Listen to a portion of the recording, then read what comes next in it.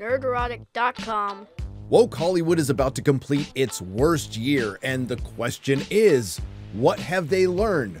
Well, why don't you join me, you over 927,000 Awakening Wonders, and let's find out. Well, after a year of flops where only one 2023 movie with a budget of over $200 million had made a profit so far this year, and that was written a month ago, and that hasn't changed. To be fair, Woke Hollywood was already in decline in 2022, but this was the year they were supposed to return to form. Since it was the first time since COVID, they would have a full theatrical release schedule. Unfortunately, that full theatrical release schedule was full of flops. Just to name a few, Ant-Man flopped, Renfield flopped, The Creator flopped, Hypnotic flopped, Little Mermaid underperformed. I mean, flopped. Elemental underperformed. I mean, flopped. Haunted Mansion flopped. Wish, flopped. Freelance, flopped. Indiana Jones and the Dial of Dysentery, flopped. The Marvels was a mega flop. Expendables 4, flopped. And the entire DCEU flopped. Now, there is one to go, but I have no doubt that Aquaman 2 will be the very first box office plop. Now, were all of those films giant woke disasters? Of course not.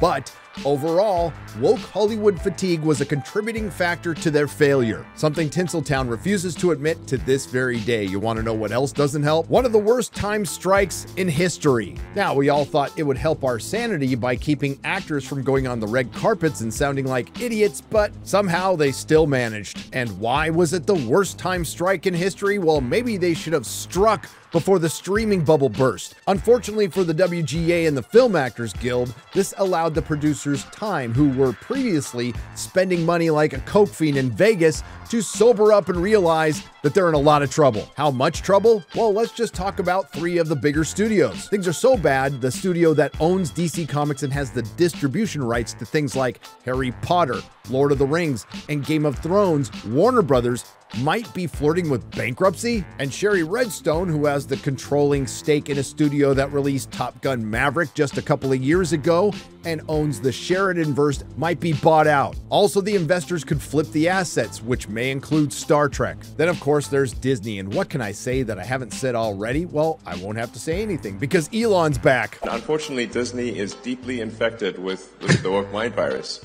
In fact, if you ask an AI what is the most woke company on earth, it's Disney. And that doesn't even cover the half of it. Disney is almost going to lose a billion dollars on their flops alone. And according to CNBC, the only streamer technically to turn a profit is Netflix. So this is indeed the year well after Hollywood got woke where they finally went broke. So I ask you again, dear viewer, has Hollywood learned its lesson? Has it seen the error of their ways? Have they decided to dial down all the divisive woke entertainment and, I don't know, entertain people? No. Now we know most of the theatrical releases have been delayed till 2025, and it's not looking good for the theaters, but I could be wrong. There are a couple of movies coming down the pike that could get the ticket buyers running back, like Civil War. Civil War. Oh man, you better believe I'm excited. That's right, Tim. Civil War. 19 states have seceded. The United States Army ramps up activity. Citizens of America, the so called Western forces of Texas and California. What? A perfect film for what will be a contentious election year in a divided America. It's obviously a fantasy because Texas isn't allying itself with California for anything. Now, this film comes from Alex Garland, who's written some films that people like, but is it going to be the 28 Days Later Alex Garland? Or the men Alex Garland? I don't know. Civil War could be compelling if they took a balanced yet scathing approach towards the division in America, but I think the reality is it's going to be told through the lens of Trump derangement syndrome because that's new, but at least it gave birth to a pretty good meme. Well, you're American, okay? Okay. What kind of American are you? So, if yet another nihilistic, post apocalyptic look at a divided America from the perspective of the woke Hollywood bubble isn't good enough for you, how about this? Welcome to the American Society of Magical Negroes. Uh, what did she say? Yeah, Gary, uh, she said the American Society of Magical Negroes. That's what I thought you said, and considering the title and the premise, This is the type of film some people out there probably think I shouldn't be talking about, which means I'm going to talk about it. Now, to be fair, this is a well known Hollywood trope that has been going on for years that continues to this very day. The only difference is, I would argue, you could replace the word magical with gay, but it doesn't mean the movie's going to be bad or divisive or on the nose, right? I know you can feel their discomfort, Aaron. Watching you walk through a room full of white people was the most painful thing I've ever seen. Excuse me. I mean, if you're not counting the trailer for the trailer, that is 11 seconds into the real trailer. All right, all right. Maybe that's the only joke. Let's continue. I want to take you to a job interview. Welcome to the American Society of Magical Negroes. Sounds like they're really daring people to say magical Negroes. I don't really understand. It's easier said. What's the most dangerous animal on the planet? Shark. White people, when they feel uncomfortable. You gotta be fucking kidding. Well, maybe that's the only other joke. White people feeling uncomfortable precedes a lot of bad stuff for us. Really? That's why we fight white discomfort every day. When I hear that, I can't help but think about Jar Jar Abrams' organization Bad Reboot saying enough white comfort while our country was burning down during the summer of love. Anyway, does that say white tears? Why doesn't it say comfort? Oh, well, I know why, because.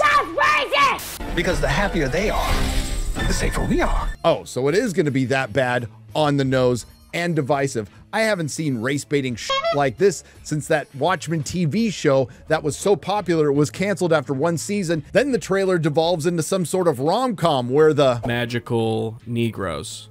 and incredibly non threatening, bordering on effeminate protagonist falls for his client's girlfriend. The name needs a little updating, maybe like magical black people, or I guess that doesn't have the same ring. After that, the trailer decides to dial back the abject racism and just devolve into your average garden variety Hollywood cringe, except for this. I've always felt like it's my job to make white people feel comfortable, and here it literally is, but maybe it shouldn't be. Interesting, satirizing a common Hollywood trope while being a commentary on racism while being racist. It's a bold strategy, Cotton. Let's see if it pays off for him. Well, after woke Hollywood's worst year, it's clear they've learned absolutely nothing, but there is some good news. Thanks to the WGA and Film Actors Guild strike, we won't get as much of it. Now, I know a lot of us out there are sick to death of how divisive Hollywood has been. We don't want a repeat of 2020, but it looks like Tinseltown does, and that's the beauty of free speech and expression.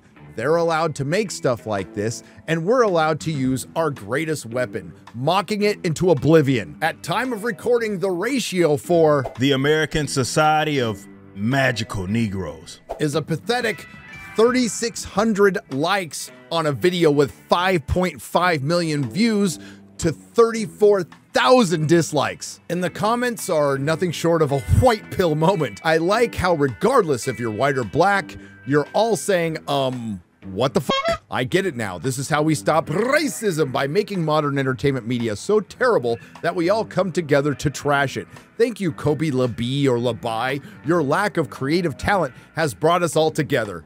All right, we'll give some land to the and the chicks, but we don't want the Irish. No.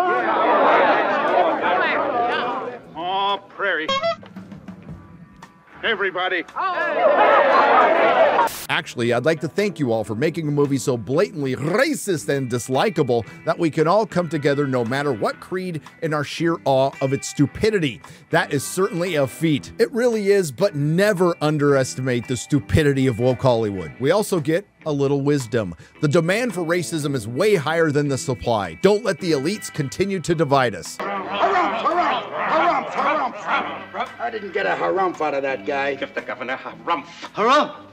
Racism is alive and well in the film industry, apparently. No, apparently there. But then again, we already knew that. It's good to have such an overt example of how the film industry really thinks. Then we have the now classic I love the part troll from the Rings of Power days. I love the part where Pootie Tang jumps out of a DeLorean and yells, What we do in life echoes in eternity. And I especially love the part where Harry says, Wakanda forever. I was really moved when they all came together at the end to save Rock Ridge. And this goes on and on, but we'll we'll end it with the best one. Still waiting on a magical black person to show up and cover me from watching this trailer. Now, personally, I think this would have been a better version of the movie. There can be only one magical Negro.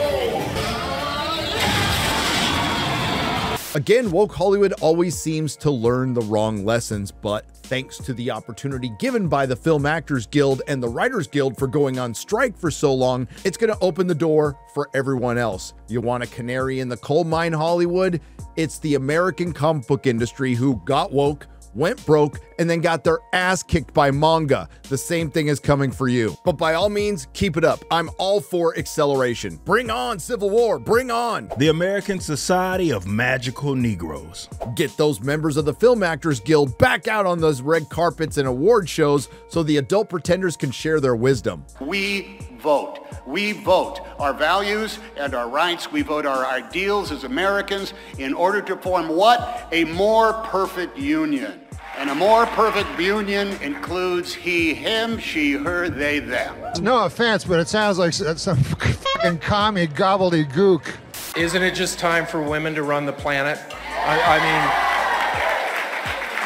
I don't know what else to do because we, men, uh, we've been running the show since what, 10,000 BC? Something like that.